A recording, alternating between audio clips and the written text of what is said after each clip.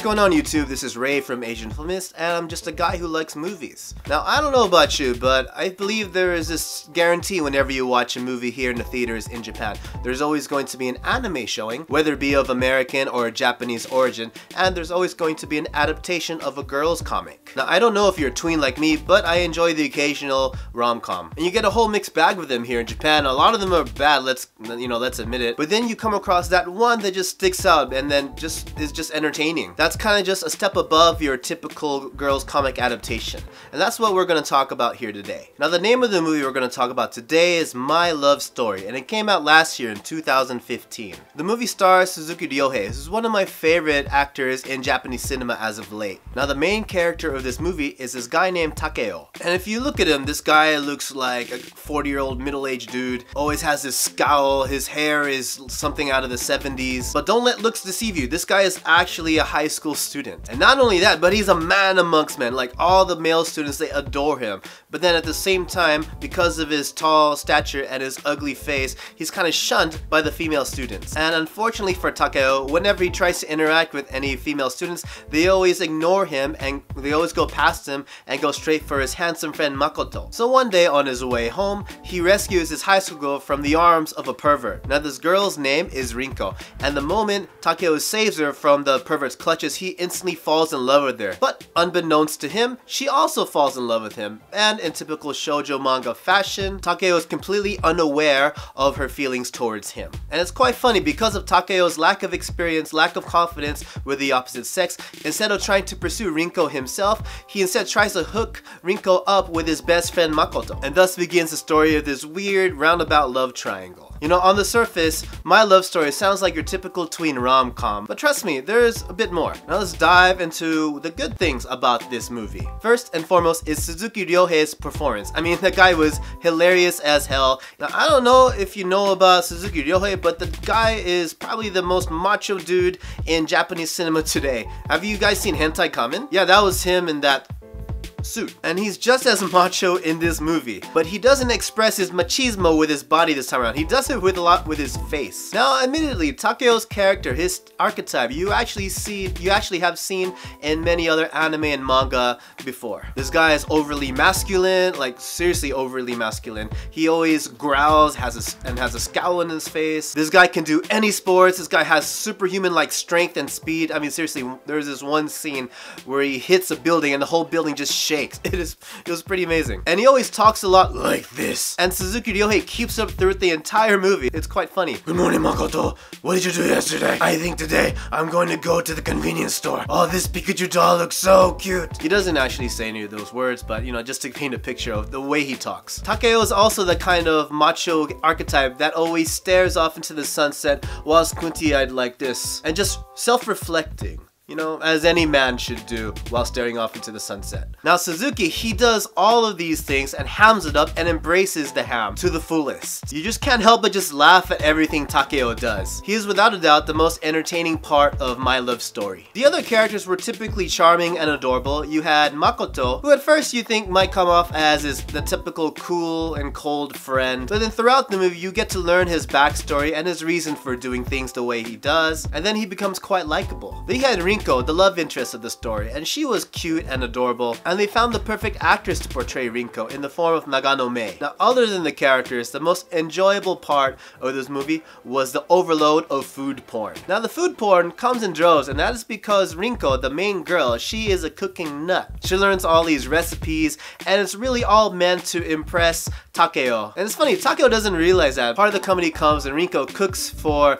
Takeo and Makoto, and, and you know, it's really all for Takeo Takeo, but Takeo thinks it's all for Makoto, and he thinks he's just along for the ride, and he's enjoying all the food that she puts out. And every single bit of food that Rinko cooks up, you will start to have cravings for, I guarantee it. Now, I only had a few good things to say about the story, but trust me, those few good things carry on for the majority of the film. Now, I know what many of you might say, I mean, it's an adaptation of a girl's comic. Of course, it's not meant to be a good movie. After all, they make these stories for a certain demographic, which might not include a guy named Ray. But, you know, I'm still gonna talk about them. So here are some things that I felt were kind of lacking. First off, everything was very sugary. There's a lot of fluff. I mean, no character or and no relationship was very complex in this movie. Everything was created for the sole purpose of light entertainment and just to experience a very feel-good story. And even though the center of the story is a male character, it is actually, you know, keep in mind, it is actually a girl's comic. So that being said, My Love Story contains so many tropes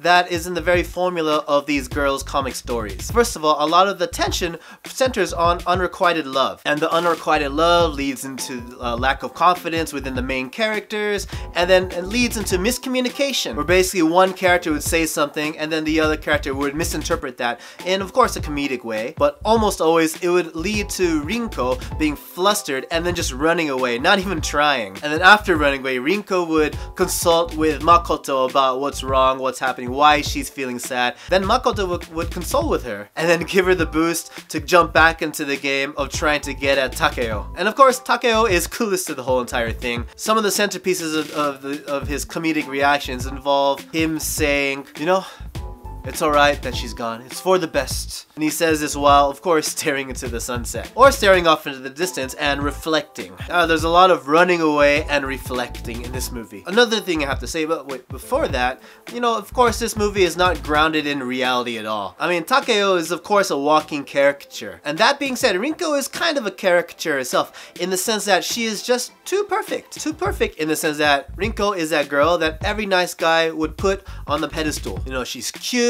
she's loyal, she's lovable, she works hard, she cooks. You know, given the way each of the main characters were made in this story, it's almost debatable as to whether this story was meant to be a boys comic or a girls comic. You know, people swear to me that this is a girls comic, but I swear to them, nah, this is a boys comic, you see? Everything was made so that way it caters to a male demographic. More specifically, the demographic of nice guys. And the last girls comic trope that this movie contains is the melodrama. Of course you have to have melodrama in a romantic story, but I don't know, I just have this thing when the source of the melodrama is miscommunication. Or something that could have been solved if you, one of the characters would just say, hey, what's up? But you know, a lot of Japanese love stories, a lot of them are centered around miscommunication, I feel. Or just the characters saying 20% of what they actually feel, and the other 80% they're just keeping it and thinking and letting it kill themselves with it. Characters come to conclusions without really even confirming anything in the first place. But you know, the miscommunication, you know, it's the source of the melodrama, it's also the source of the comedy, so you have a little bit of both. And if you are really into the kind of melodrama,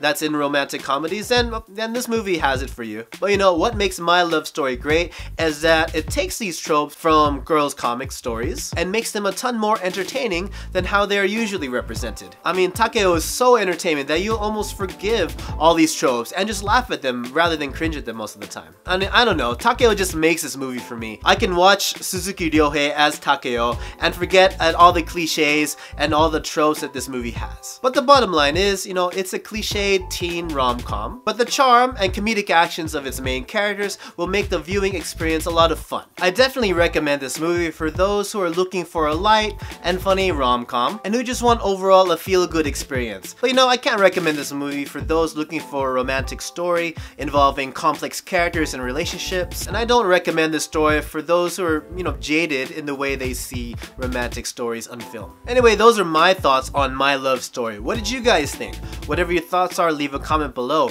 And don't forget to leave a like and subscribe to Asian Filmist for more reviews and discussions on Asian films. You can also chat with us on our Facebook and Twitter pages, and if you subscribe to our email newsletter, you can receive a free copy of our ebook, The 108 Asian Films for New Fans to Watch. And once again, my name is Ray. You can find me on Twitter, and my Twitter handle should be right down here.